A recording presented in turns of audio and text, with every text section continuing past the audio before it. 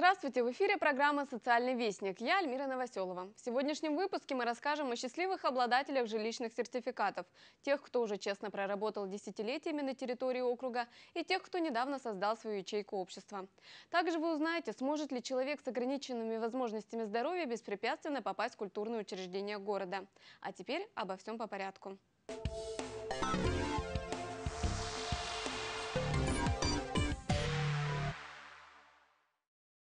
Люди, трудившиеся на благо развития Крайнего Севера на протяжении 15 лет, могут рассчитывать на государственную поддержку в виде получения жилищного сертификата.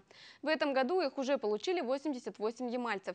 Они могут приобрести жилье за пределами Ямало-Ненецкого автономного округа в любом регионе нашей страны.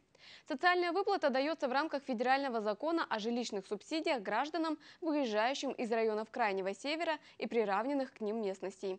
Всего в 2017 году на эти цели планируется потратить 4 413 миллионов рублей с федерального бюджета. Государственные жилищные сертификаты получат порядка 200 ямальских семей. В первую очередь выплаты получат инвалиды первой и второй групп, а также инвалиды детства, родившиеся в районах Крайнего Севера. Далее в списках пенсионеры и безработные. Первыми получателями государственного жилищного сертификата в рамках федеральной программы по переселению из районов Крайнего Севера в этом году стали 19 лоботнанских семей. Большинство обладателей сертификатов – это люди, которые ушли на заслуженный отдых. Их поздравила глава глава администрации города Марина Трескова. Мы очень надеемся, что вы по-прежнему, несмотря на, жиле... на решение своих жилищных проблем, планов построения нового счастья, не разорвете узы с Северной Ямальской землей и с городом Лабытнанги, которому вы посвятили большую часть, основную часть своей жизни. Лица в зале все знакомые, ваш вклад в развитие города в различных сферах жизнедеятельности Лабытнанги мы очень ценим, знаем. Государственная программа финансируется из федерального бюджета. В этот раз выдано сертификатов на общую сумму более 34 миллионов рублей. Четыре года ждала этого момента Людмила Кудрина. Переезжать собирается на родину, в Пермь. Менять место жительства после 30 лет проживания на севере будет трудно. Но там ждет новая жизнь, признается Людмила Ивановна. Конечно, жалко, привыкли природа, все вот это очень затягивает. Муж у меня любитель и охотник, и рыбак. Но хочется ближе к детям. Чтобы стать участником программы, необходимо проработать на севере не менее 15 лет, а также не иметь другого жилья на территории страны и нуждаться в улучшении жилищных условий. Более 23 лет Лариса Килина проработала участковой медсестрой в детской поликлинике. Благодаря государственной программе она продолжит свою деятельность в городе Новосибирск. Я здесь родилась, я здесь выросла, это мое, и, в общем-то, даже представить не могу, как я смогу отсюда уехать. Это для меня, ну, вот как вот кусок от меня оторвать, это, это, это, в общем, пока еще в умении это сам. Вчера были радостные эмоции, вчера, вчера летала на небесах, что ура, ура. А сейчас вот, когда постепенно приходит, это уже к тому, что вот надо же будет переезжать, надо будет это обустраиваться на новом месте. Ну, в общем, я говорю, это начинается новая жизнь. Государственная программа популярна среди лоботнанцев. Сейчас в списках на получение жилищных сертификатов состоит 1644 семьи. Это первые у нас получившиеся сертификаты. До конца года планируем выдать где-то около еще 30 сертификатов. На реализацию сертификатов у лабытнанцев совсем немного времени, хотя многие из них уже подобрали варианты и стремятся побыстрее приобрести жилье в выбранном регионе. Нынешние обладатели государственных жилищных сертификатов желают переехать в Москву, Тюмень, Санкт-Петербург, Новосибирск, Екатеринбург, Омск, Краснодарский край. Лабытнанские квартиры участники программы обязаны сдать администрации города. Для молодых семей также существуют льготные условия для покупки квартир. Основные условия – возраст не старше 35 лет. Человек должен иметь постоянную прописку на территории округа и быть признанным нуждающимся в улучшении жилищных условий. Таким правом в городе Семилиственниц, начиная с 2004 года, уже воспользовались 703 семьи. Благодаря федеральному уровню программы жилища квартирный вопрос в этом году смогут решить 16 семей, а региональному – 3. Именно они первыми в торжественной обстановке получили свидетельство на соцвыплаты лично от главы администрации города. Двухлетний Ванечка пока не знает, что скоро он будет собирать конструктор с мамой и папой в другой квартире, уже не съемной, а своей. Семья Чикишевых с рождением ребенка задумались о собственных квадратных метрах. Их родители подсказали о действующей программе по улучшению жилищных условий для молодых семей. Илья и Вероника сразу подали документы. И вот спустя два года мечта сбылась. Они уже присмотрели капитальную двушку по улице Гиржгорна, 65, общей площадью 56 квадратных метров. Всю сумму 2 миллиона 600 тысяч рублей оплачивает округ, так как в этой семье воспитывается особый ребенок. Мы очень ждали этого события на самом деле. Два года мы ждали, когда получим этот сертификат. Мы очень рады. Мы уже скорее хотим приобрести свое жилье и переехать. Долгожданный момент вручения жилищного сертификата удостоен особого внимания, поэтому обстановка соответствует. Главе администрации города приятно видеть счастливые семьи. Мы очень рады и от имени губернатора автономного округа и правительства поздравить вас с тем, что в 2017 году э, в городе Лабытнанге на трех новоселов в вашем лице, ваших семей станет больше.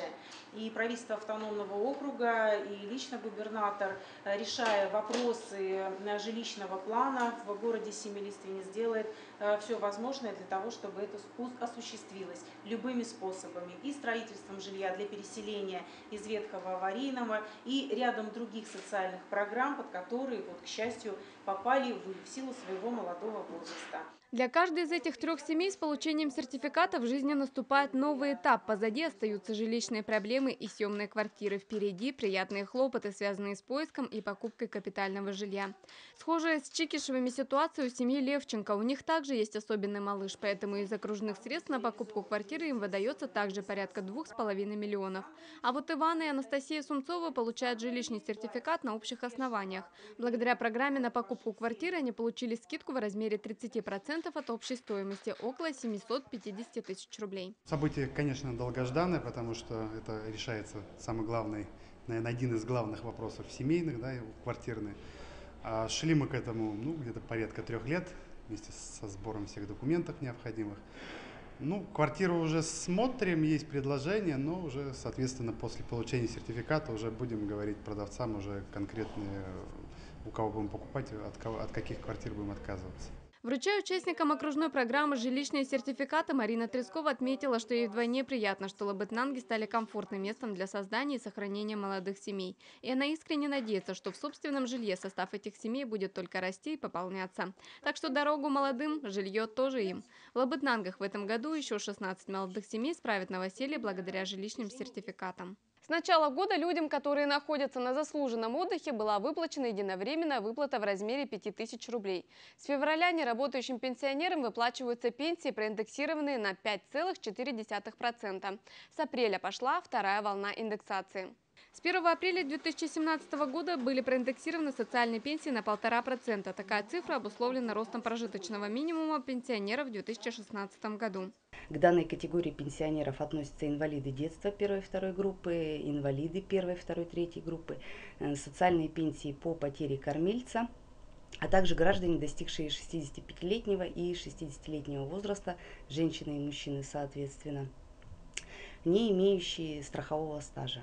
Таким образом, размеры пенсий с начала этого месяца у таких категорий, как инвалиды детства первой группы и дети-инвалиды, составят 18 123 рубля. Инвалиды детства второй группы, инвалиды первой группы и нетрудоспособные лица, потерявшие обоих родителей, будут получать 15 102 рубля. А нетрудоспособные лица, потерявшие одного из родителей и инвалиды второй группы – 7 551 рубль. Помимо индексации социальных пенсий, с 1 апреля увеличена стоимость пенсионного коэффициента. С 1 апреля стоимость пенсионного коэффициента составляет 78 рублей 58 копеек. Это так называемый 1 балл, с учетом э, которого будет назначаться пенсии Страховые пенсии неработающим пенсионерам проиндексированы уже во второй раз в течение этого года. С начала текущего месяца они увеличились на 0,38%. В этот раз прибавка не очень существенна по сравнению с февральской индексацией. Общий объем индексации страховых пенсий в 2017 году составил 5,8%.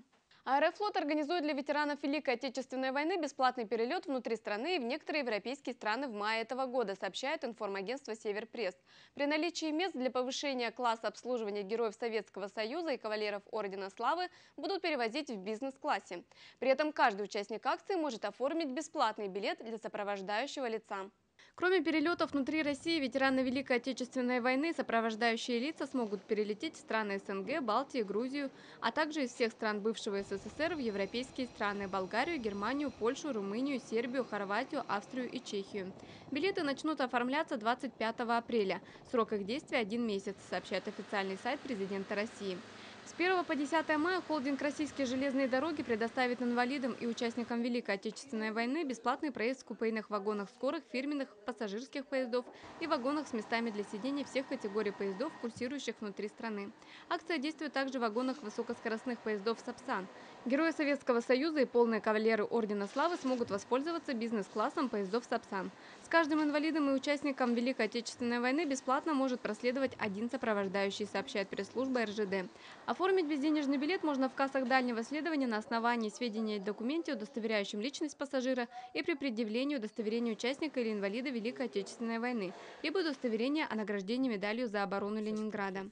Для иностранных граждан оформление проездных документов производится при предъявлении удостоверения, выданного соответствующими органами бывшего СССР по форме, действовавшей на 1 января 1992 года.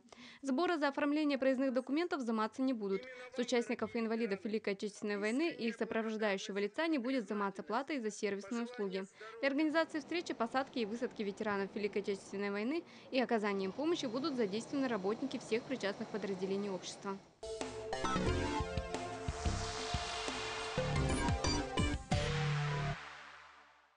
Может ли человек с ограниченными возможностями здоровья посетить концерт в городском доме культуры или познавательное мероприятие в Центральной библиотеке? Насколько адаптированы для этого объекта социального назначения в нашем городе, решили узнать члены общественной палаты и представители организации «Надежда», занимающейся поддержкой инвалидов.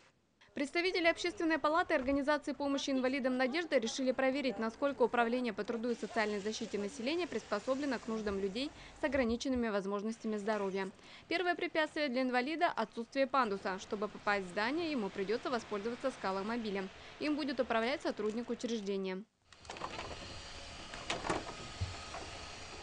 Коляска с весом килограммов 100.